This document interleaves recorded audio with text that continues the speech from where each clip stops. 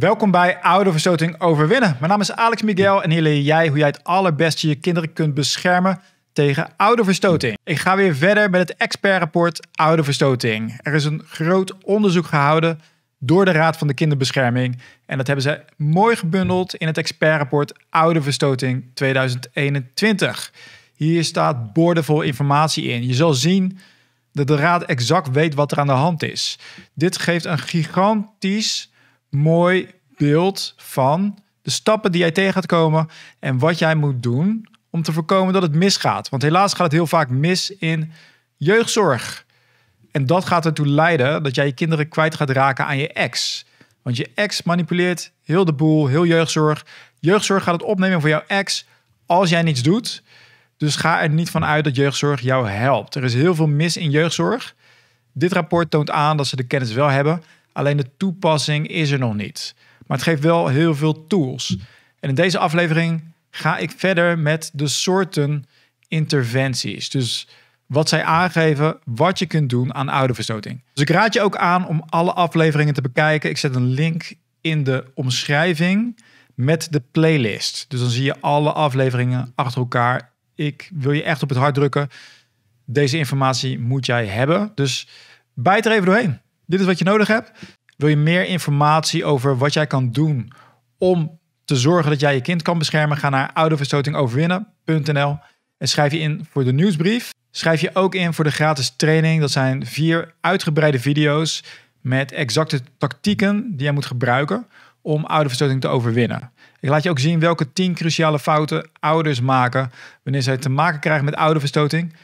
Dit is niet jouw schuld. Jij kan er niks aan doen. Dit is voor jou de eerste keer dat jij ermee te maken krijgt. Dus het is absoluut niet raar dat heel veel ouders deze 10 fouten maken. Dus neem het jezelf niet kwalijk, maar zorg ervoor dat jij heel snel up-to-date bent over wat jij moet doen.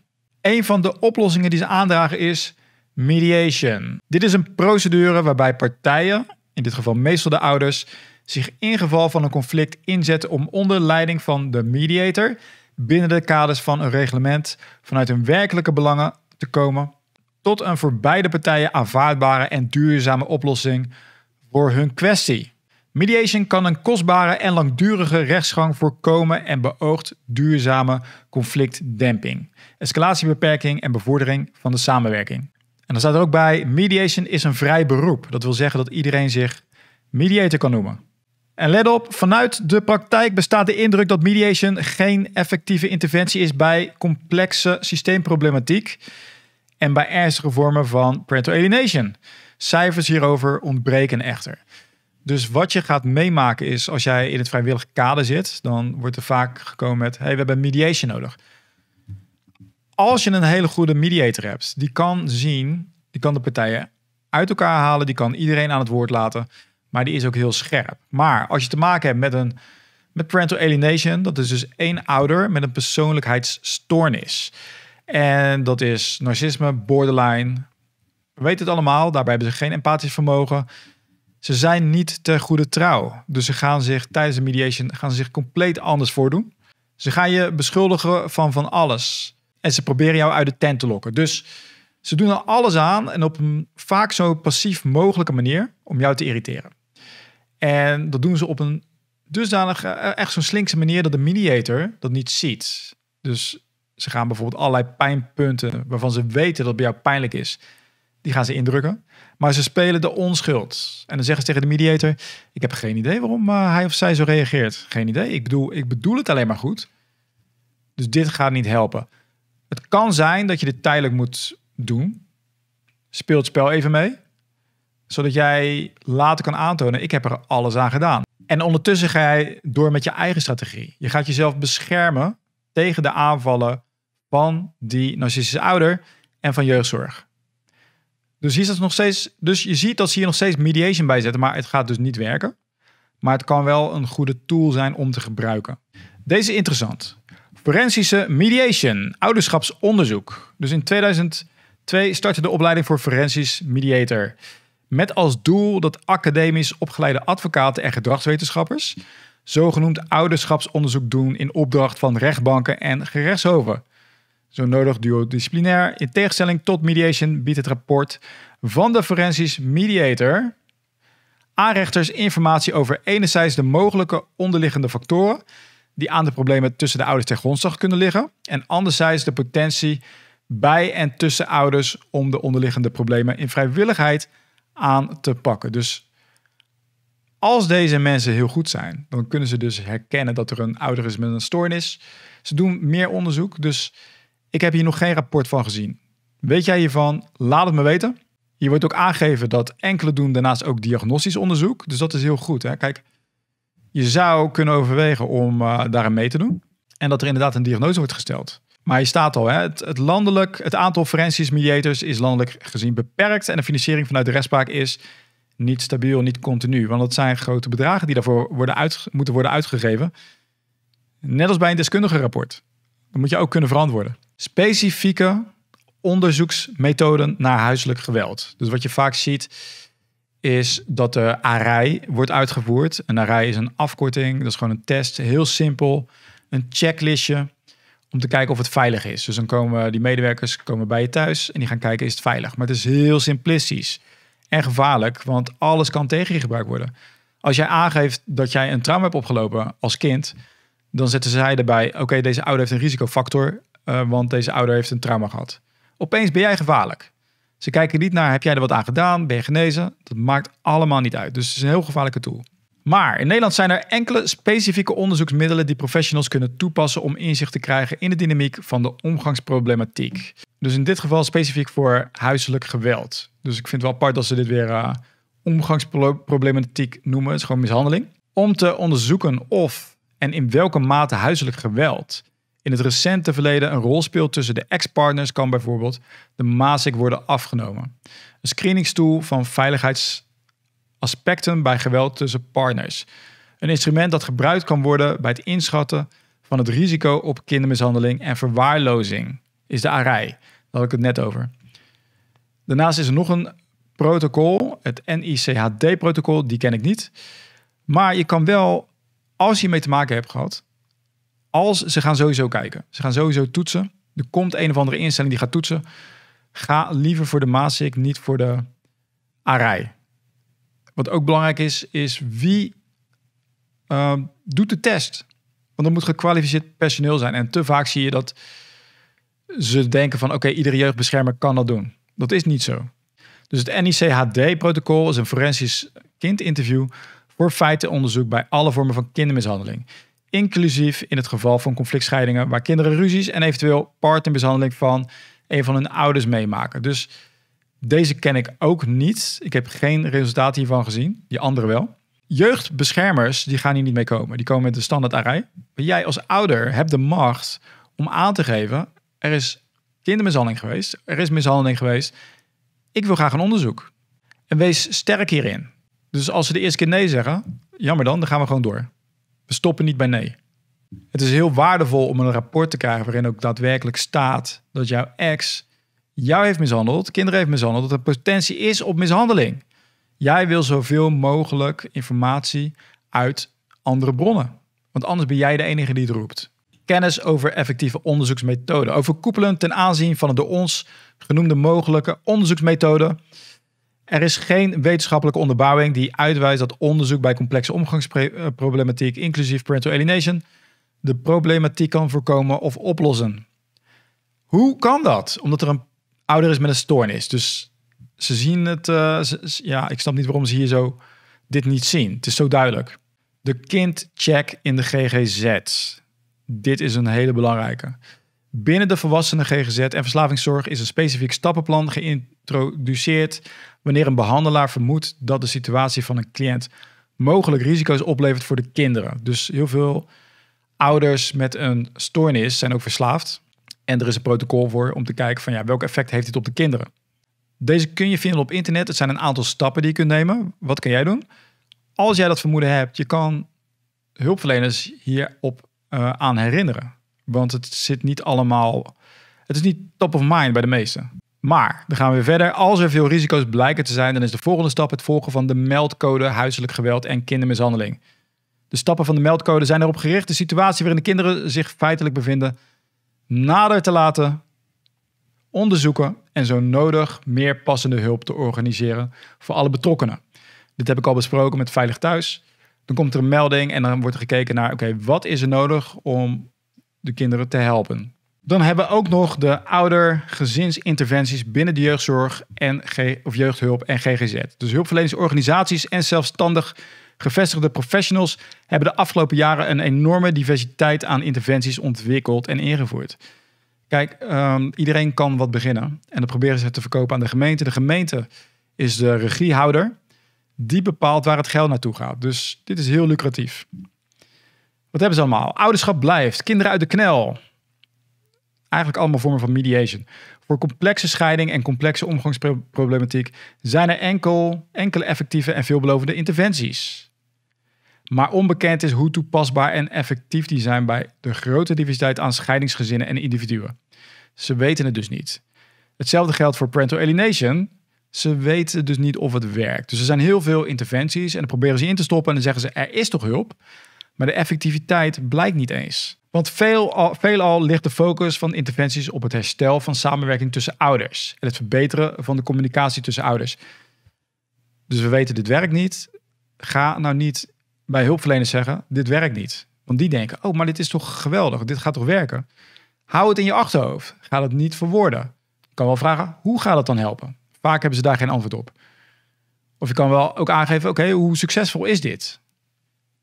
Bij de meest complexe zaken blijkt dat deze focus onvoldoende effectief is. Dus je kan hier wel naar verwijzen. Voor het vormgeven van de communicatie tussen ouders zonder dat zij rechtstreeks contact met elkaar hebben, zijn er enkele alternatieve interventies ontwikkeld. Die richten zich op zogenoemd parallel ouderschap in plaats van coöperatief ouderschap. Bij deze methodiek helpt de professional tijdelijk om de communicatie die tussen ouders dysfunctioneel verloopt te kanaliseren en de focus alleen te leggen op de eigen opvoedsituatie. Dus in principe is het de bedoeling dat dit tijdelijk is. Ze gaan dus tegen jou zeggen: de, de gedachte erachter is. Er is een conflict. En jij bent daar zo erg in verzand geraakt dat je alleen maar kan strijden. Dus kijk naar wat je zelf anders kan doen. Hier maken verstoters misbruik van. Zij gebruiken parental of uh, zij gebruiken parallel ouderschap om een muur op te bouwen, zodat zij niet hoeven te communiceren, waardoor het makkelijker is om jou uit het leven van je kinderen te houden. En ze hoeven alleen maar te e-mailen. En de enige hulp die daar dus bij is, is kijk naar je eigen stuk. Dus de alienator kan alles bij jou doen. Zij kijken, de helpers van parallel ouderschap, kijken niet naar wet en regelgeving. Dit zijn echt zorginstanties het maakt hun niet uit of de verstoter alles doet wat verboden is. Zij zeggen alleen maar: kijk naar je eigen stuk. Dus hier heb je helemaal niets aan.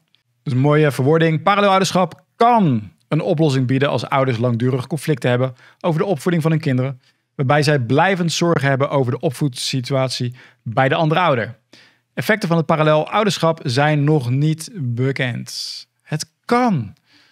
Dus als jij zorgen hebt over de situatie bij de narcistische ouder, bij de ouder met een persoonlijkheidsproblematiek en jij geeft dat aan, dan zegt jeugdzorg, ja, dat kan allemaal wel zijn dat jij denkt dat er emotionele schade wordt toegebracht aan jouw kind, aan jouw kinderen, maar kijk naar je eigen stuk. Oké, zeg jij dan? En als ik kijk naar mijn eigen stuk, gaan dan de problemen daar weg? Daar hebben ze geen antwoord op. Oké, als ik dan kijk naar mijn eigen stuk, Gaat dat dan werken? Ja, dat is ons niet bekend. Kijk, dat zeggen ze niet. Maar dat weet jij nu. Omdat ik jou dit voorlees, omdat ik jou dit document laat zien, weet jij dat het niet eens bekend is of het werkt. Er is ook geen onderzoek bekend waarin de vraag of parallel ouderschap bij parental alienation een passende interventie is, is onderzocht. Dus ze verzinnen maar wat. Omdat ja, ze hebben niks je gaat merken dat veel uitspraken die, uh, die gedaan worden in de jeugdzorg komen omdat ze eigenlijk geen antwoord hebben. Dus dan denken ze, ja, we hebben niks. Weet je wat? Gooien we dit erin. En ouder, jij moet doen wat wij zeggen. Is het ergens op gebaseerd? Nee. Belangrijk dat jij als ouder de leiding pakt. Laat je niet meeslepen in dit soort onzin. Dan hebben ze nog wat verzonnen. Omgangshuizen en programma's voor begeleid omgang. Speciaal voor voortzetting of herstel van de ouder-kind-relatie na scheiding zijn er omgangshuizen en programma's voor begeleide omgang ingericht. Soms worden die uitgevoerd door en binnen de jeugdbescherming. Soms ook in het vrijwillig kader uit verkennend onderzoek naar omgangsvoorzieningen in omgangshuizen. In Nederland blijkt dat de beschikbaarheid en dekking van omgangsvoorzieningen bij de jeugdhulpregio's voldoende wordt gewaarborgd. De invulling van de omgangsvoorziening is divers. Ze doen allemaal maar wat. Verdiepend onderzoek naar deze nulmeting is nodig. Het rapport geeft geen informatie over de effectiviteit van de omgangsvoorziening. Dus wat hier weer gebeurt is dat ze dan een, een onafhankelijke locatie. Jij bent al verstoten van je kind. Je geeft wel aan van oké, ik wil wel dat er weer contact komt. Dat doen we op een neutrale plek. Eén uur in de week, één uur in de maand. Wat gaat hier vaak fout in? Er worden geen doelen gesteld. Hoe dat dan vooruit zal gaan. Waaraan voldaan moet worden. En ondertussen, jouw kind wordt gemanipuleerd door jouw ex. Dus hoe langer die jouw kind jou niet ziet, dat ene uurtje gaat echt niet helpen. Dus dan merk je dat ze dan op een gegeven moment na een aantal maanden, want dat willen ze lekker lang door laten gaan, want die verdienen ze veel geld aan. Na een aantal maanden zeggen ze, oh het werkt niet. Jij bent weer een jaar verder. En wat doen ze dan? Een nieuwe interventie, een nieuwe club die maar wat gaat doen.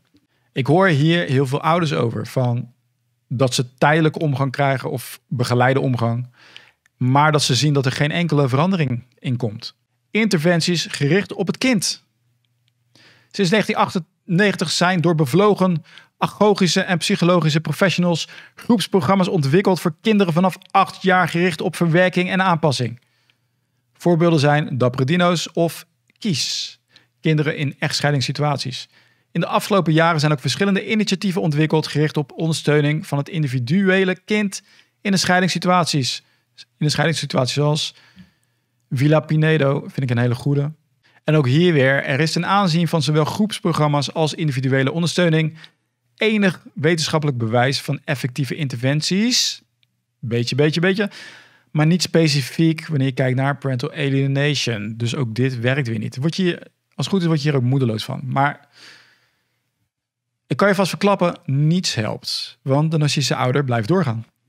Ontwikkelingen binnen gedragswetenschappelijke beroepen in zaken kennis en kunde. Wat ze hier weer aangeven is, we weten het niet. We hebben onvoldoende kennis. De beroepsgroepen vertegenwoordigd in P3NL hebben recentelijk ook vastgesteld dat de gedragswetenschappelijke geschoolde professionals minimaal 4 plus 2 jaar beroepsopleiding plus de nodige specialisatie, intervisie, supervisie en werkervaring dienen te hebben om zelfstandig te mogen behandelen bij complexe, meervoudige problematiek en dan tevens interdisciplinair en in teamverband dienen te werken. Dus ze moeten zes jaar, minimaal zes jaar ervaring hebben. Dit geldt dus voor die gedragswetenschappers die altijd zijn gelinkt bij een jeugdzorginstelling. Wat zijn de ontwikkelingen bij de overheid? De rechtspraak en de zorg streven naar dejuridisering. Dus zij willen dat het uit het juridisch kader wordt gehaald. Maar dat is juist waar je de winst haalt. Want jij kan alleen maar je kinderen helpen als ze bij jou zijn. Er is geen andere weg. Dus ze willen hier veel meer samenwerken, maar dat gaat dus niet werken.